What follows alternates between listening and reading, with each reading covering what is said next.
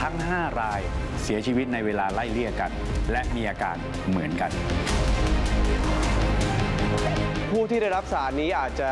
ป่วยหรือเสียชีวิตได้หรือเปล่าครับ ฉันก็เป็นแค่สื่อกลางที่อยากจะนำเสนอความจริงให้ประชาชนได้รู้ ถ้าเราไม่มีหลักฐานเราห้ามพูดอะไรทั้งนั้นหรือว่าจะเกิดโรคระบาดจริงหมอระบาด เริ่ม 21 สิงหาคมนี้ ดูทีวีกด 33 ดูมือถือกด3 plus